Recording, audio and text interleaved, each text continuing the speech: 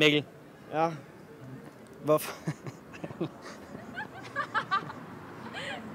It's gonna be fun tonight. Cause everyone's coming by. It's gonna be fun tonight. Alright.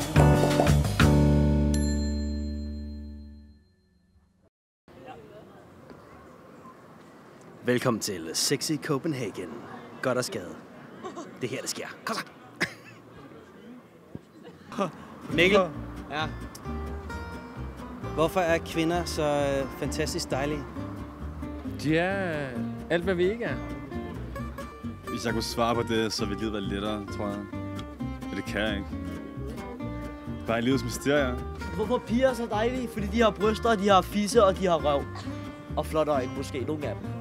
Øh, Jamen, det er jo meget simpelt. Det er jo evolutionen, ikke? Altså, det er jo øh, dengang mennesker. Så der er hankønnet, der er hundkønnet, og vi synes efter naturens lov, at hinanden er dejlige og skønne. Og, og sådan er det jo bare. Vi har øh, påvirket os selv med alt muligt shit. Forår det. Hvilke former? Forbag. Forbag. Kærlighed.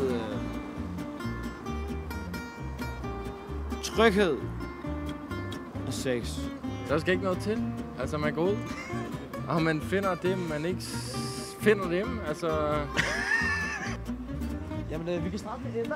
Vi starter med Emma. Vi har en model. Okay, Emma, kan- hun har voldgod. Hun har en hjernedød røv, og hun har flotte øjne. Videre, stiler. Øh, nej, der er ikke så meget at sige. Men øh, altså, hvad, hvad, hvor kom I fra, Kudo? Kom nu seriøst. Men jeg kan godt lide, når en pige gør sig piget, og er, som, som man tænker, en pige skal være. Sådan lidt, Så kører de derned, og så kører de derop igen, og så er man sådan der, "Det er okay, fair nok. du skal køre mig ned, altså, det gider det ikke. Vi skal ikke, vi skal ikke køre sådan noget, er der helt væk. Sådan er det med de fleste damer. Der er altid noget, der fedt. Det kommer selvfølgelig an på, hvor stor, hvor stor lille er, jo. Du har ikke nogen bryster derhjemme. Og det har piger. måske er det længere, ikke, ikke længere end det. Altså, Bliver jeg kendt på det her? Måske. Hvad ved? 100.000 views. Jeg kan godt lide, når kvinder de faktisk er lidt drengede. Lidt stærke. Træner lidt måske. En kasket på. Det er sådan en ny fetish, jeg har fået. Jeg ved ikke, hvorfor fuck vi jagter dem, mand. En hel masse fisse. Vi bliver for fulde, og vi bliver for... Vi... Hvis der, hvis der er en pige, der kan, der kan forme sig for mig og give mig, give mig noget tryghed, give mig noget kærlighed og noget sex, så, er- så er jeg glad, mand. Yo people! Husk at øh, like videoen, hvis du kan lide den, og øh, følg os øh, på kanalen her. Og hvis du har en eller anden fed kommentar, så skriv den hernede. Måske du kan finde på noget, vi skal spørge om næste gang.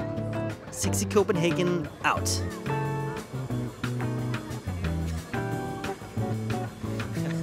det er totalt random, altså. Husk det nu. Også den der. Skriv en kommentar. Hm, like, kommentar, skriv, følg, like, kommentar, skriv. Kom nu, like.